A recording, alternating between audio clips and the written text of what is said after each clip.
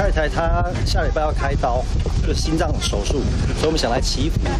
因为大甲正南宫是我们两个算是定情之功吧。艺人佑胜为了帮老婆祈福，徒步跟着大甲妈绕境，也不时在自己的频道当中大方放闪，疼惜老婆的爱家好男人形象。没想到一夕之间人设翻船，边跟对方在说，就是故意。讲电话，然后就走到我的身后，就突然的从我身后环抱着，在我的胸上。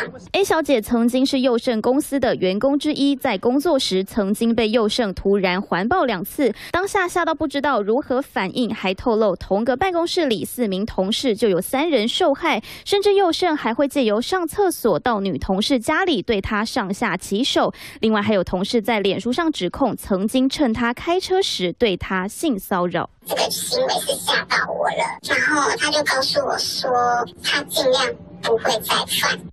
佑胜和 A 小姐的对话曝光当中，佑胜直言这个环抱他很需要，只说尽量不会再犯。事后佑胜也紧急在脸书上道歉，表示对曾经犯下的过错感到抱歉，不会逃避，真的真的很对不起，并传私讯给 A 小姐，上头写着：其实我自己也被性侵过，我能懂那种世界空掉竟然让你要经历这样的事情，真的很对不起。谈不谈？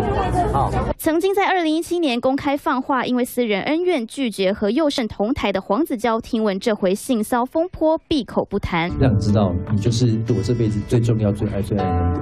性骚事件连环爆，昔日的夫妻恩爱画面，如今看来格外讽刺。三立新闻黄云凡、翁佳瑜台北采访。